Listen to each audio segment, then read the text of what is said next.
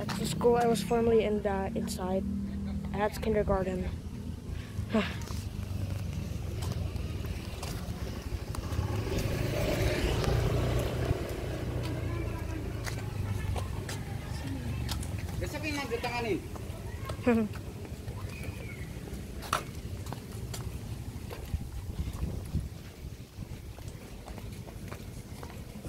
Think so. Not not really anything changed. I remember this place. I've been here since like 2017, I think. Oh, please. Is it 2016 or 2017? I don't know. Yeah. And I no longer been here since 2018. I've switched to another school, except it's like, how far is it? 40 minutes away. Oh yeah, I remember this place. I used to be in this.